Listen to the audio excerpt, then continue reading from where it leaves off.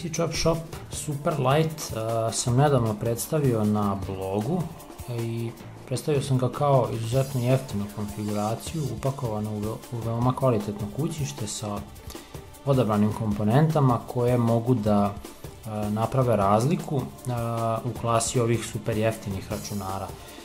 Razlika bi se ogledala u tome da dobijete računar koji troši izuzetno malo struje, do možda 30 W, sve ukupno kada je potpuno opterećen, a da pritom taj računar bude upakovan u veoma elegantno, kvalitetno i lepo kućište sa ostatkom komponenti poput napajanja koje ne spada u onaj najniži deo ovaj, tržišta poput onih nekih kineskih krševa i tako dalje.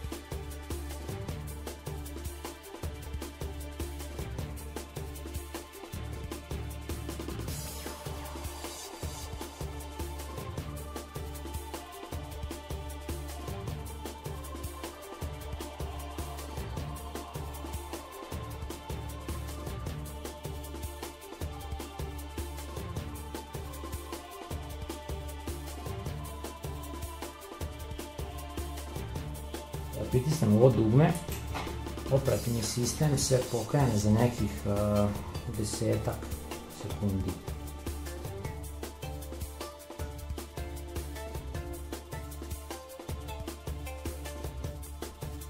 Želim da se ne broji sad, nego od ovog trenutka.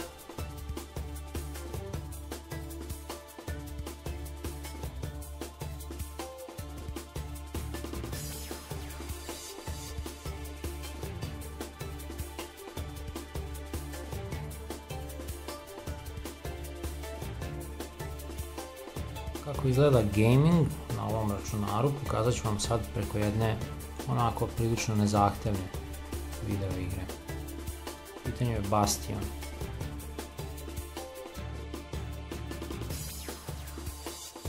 Igra se pokreće preko SSD-a.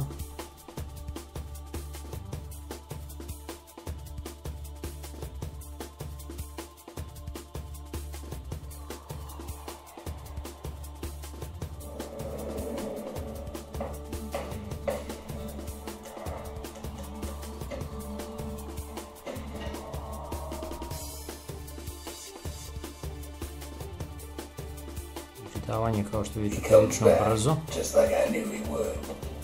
The core hums in his bag. The monument's calling for it.